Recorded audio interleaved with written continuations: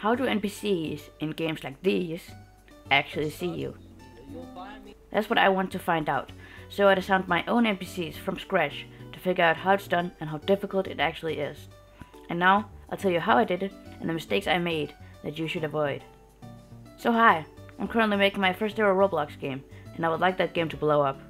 And with the current state of the internet as a whole, including Roblox, the most important part of going viral is retention. So keeping people engaged in whatever you're making. But when I looked at my game and even played it myself, it was really boring. All I do is walk around and click, plus the speed at which you gain power is way too slow. So I did two birds with one stone, I want to add NPCs, which you could fight to potentially gain more power, health and money. Yes, that means I also have to make them attack back. But to do that, I have to learn something I've been putting off for months. You see, if you want your NPCs to not constantly be walking into walls, they're gonna need pathfinding, kinda. Basically, you need your NPC to see what is a player and what is not. But Roblox rigs don't have eyes. Yes, they do have two dots on their face that are supposed to be eyes, but there's no function called see, so I had to make it all from scratch. I started out by making a hitbox to detect if anything enters the area around the NPC. This is pretty easy since I have used hitboxes before, except for one mistake that I make way too often. You see, when making a hitbox, you only want the hit to detect once, but Roblox detect every body part all at once. So this means that every time you walk into a hitbox, it does whatever you want it to, to do like 16 times. The way I fix this is when running the .touched function, checking if the player is in the table. If they are not in the table, the function keeps running and then the player gets placed into that same table that we were looking through before. With this, once we have run the function once, it can't keep running because the player is in the table, like how you should subscribe, but only once, because when you already subscribe, there's no need to do it again. And this works fine with most hitboxes, but not the ones I was using. I used constant hitboxes that won't disappear, so that means once the player's in the table, they couldn't get detected. But how did I fix this? Pretty simple. You just need to run the .touch ended function, and then remove the player from the table. Now that I know when the player is close to my NPC, I need to make it so they can see it, you. But they can't. Well, not in the way the player does it. They have no camera and they have no feature that you can easily enable. But there's of course one way. Raycasting. I'll explain it quite quickly. Basically, you cast a line from a point in a certain direction, and then it returns a bunch of things about whatever it hits. The direction is probably the hardest part, at least for me. It's actually quite simple, but I'll get back to that once it's needed. So whenever you enter the NPC's sight range, it shoots out a ray in your direction, and if the line hits any of your body parts, we detect that. Raycast detection actually works the same way as hitboxes, where the ray hits individual parts, so I have to detect if it is a player or if it is a part. But now you're probably wondering why you would use raycasting instead of hitboxes, when they do the same thing, and raycasting does sound more difficult. So what really is the advantage of raycasting? Well, like I said in the start, raycasting works like vision, so if a wall is in the way, the ray hits the wall, therefore it won't detect you. That's why I use raycasting for my game. Since we have a lot of structures in our game, I don't want the NPCs running into walls, that's why I chose to use raycasting. Raycasting can also be used for more advanced pathfinding, where you can have them walking around randomly, if they see a wall, they'll walk around it, I'm pretty sure. I don't really need that right now, but it's nice to keep in mind. Oh yeah, the direction of the ray. It's pretty simple. You just need to subtract the position of the target from the position of the source. Well, uh, this works, and the NPCs can detect you and see you, but this part I hate. Now they have to walk to you. And frankly, this sucks. To start, I didn't even know how to do this. I tried tweens and stuff like PivotTo, but that didn't really work. Plus the fact that they weren't even animated. So I used my classic strategy of just adding a colon after the humanoid, and actually found a function called move to. It works as it sounds. It moves the parent of the humanoid to a specific position. But the problem with that is that they move into the player, and either they fling themselves or they fling the player. It actually also seems like the game Dead Rails had the same issue. I remember playing it with a couple of friends, and suddenly one of us got flung really, really far away, and then a message popped up saying something like, anti-fling activated. I don't know if it has been fixed yet, but I haven't seen it since. If anyone knows how to solve this issue, please comment. Well, except for the fling bug that I couldn't fix for the life of me, it was working. I just want to clarify that this, this isn't really pathfinding. It's just simulating NPC vision. I've talked about getting it to work, but what about the other bugs that came up, and how did I solve them? One bug I had was when approaching an NPC from the side, the raycast would return an NPC.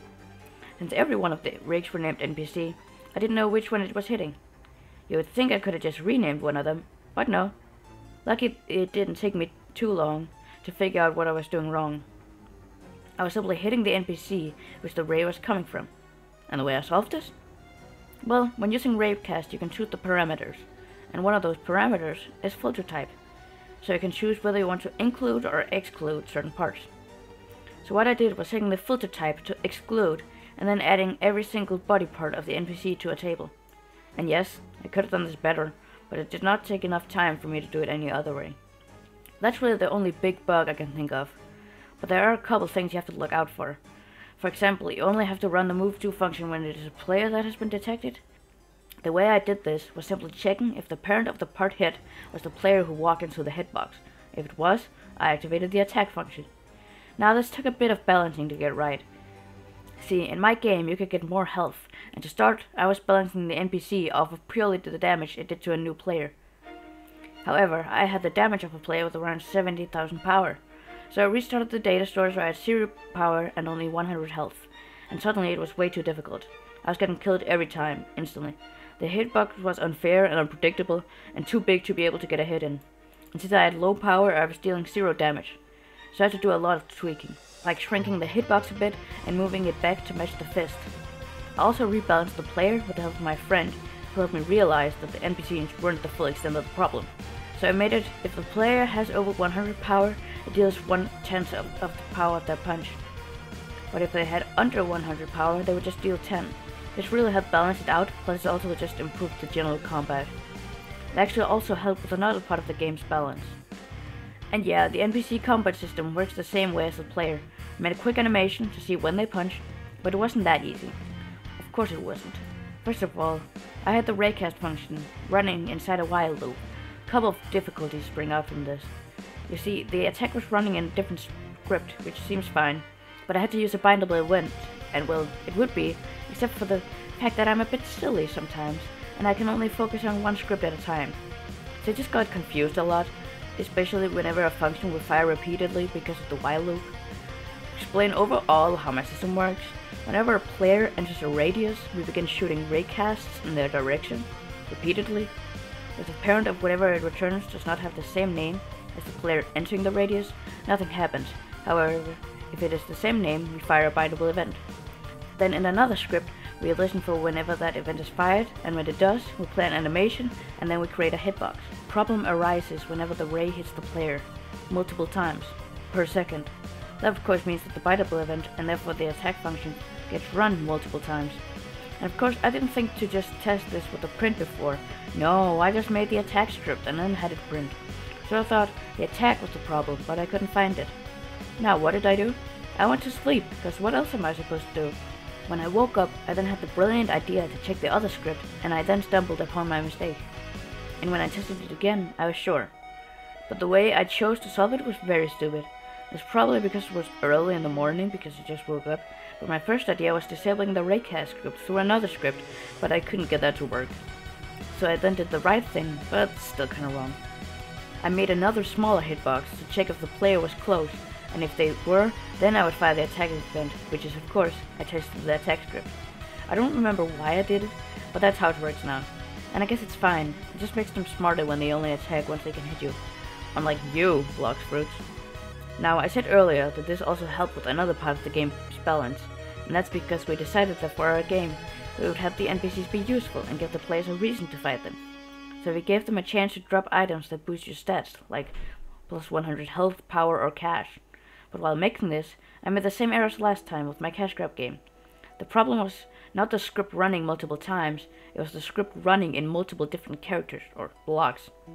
But it got solved quickly by just checking if the NPCs is the same as the script parents. I didn't use the name, since all of them are the same, but by just checking what the NPC is, it worked. Then we select a random child from the table with power, cash, and health, and then we find a child in the server storage with the same name. Then clone it and place it on the humanoid root part's position. But of course they need functionality, so just make it so whenever you touch them, they disappear, plus they give you the stat equal to their name. I did make it a bit more difficult to myself because I wanted our beautiful models to be seen, so I just added a small wait before they were added to the workspace.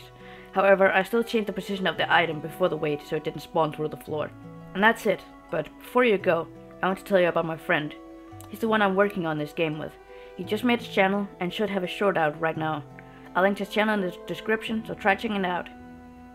And that's how I made an NPC system to figure out how it was done. I hope you enjoyed and make sure to watch this video next. See ya!